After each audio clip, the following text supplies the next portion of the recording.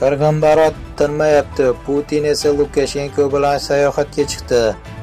Rossiyaning Ukrainaga bosqini davom etayotganining 48-kunida bugun 12-aprel kuni Rossiya Federatsiyasi prezidenti Vladimir Putin va Belarus fuqarosi Aleksandr Lukashenko vertolyotda Amur viloyatidagi Vostochniy kosmodromi qurilishi bilan tanishdi. Bu haqida TASS xabar berdi. Bundan tashqari, Putin va Lukashenko Angara kosmik raketa majmuasining qo'mondonlik punkti qurilish maydonini hamda uchish inshooti qurilish maydonchasini ham ko'zdan kechirgan.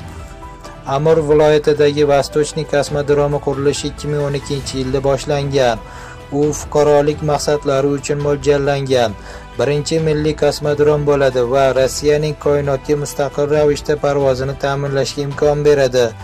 Kosmodromdan birinchi parvoz 2015-yilning 25-dekabriga belgilangan edi. Biroq qurilish jadvaldan ortda qolgani va boshqa sabablarga ko'ra 2016-yilga ko'chirilgan edi. Kosmodromning ijtimoiy infratuzilmasini rivojlantirish bo'yicha vazifalarni amalga oshirish hamon davom etmoqda. Jami 258 ta xonadonli 3 ta turar joy binosini faol qurish ishlari olib borilmoqda. Yaqin kelajakda 465 xonadonga mo'ljallangan yana 4 ta turar joy binosini qurish va foydalanishga topshirish rejalashtirilgan. Bu Soyuz va Angara raketalarining uchirishning qo'llab-quvvatlash bo'yicha ishlarni amalga oshiradigan barcha uchirish ekipajlarini uy-joy bilan to'liq ta'minlashga imkon beradi. Vostochniyda kabel to'ldirish minorasining 6-qavatini o'rnatish ishlari yakunlandi. Mutaxassislar 7-qavatning katta qismlarini o'rnatmoqda.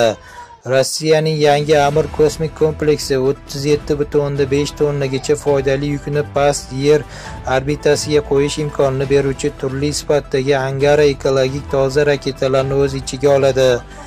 Angara oilasining raketalarda agressiv propellantlardan foydalanilmaydi.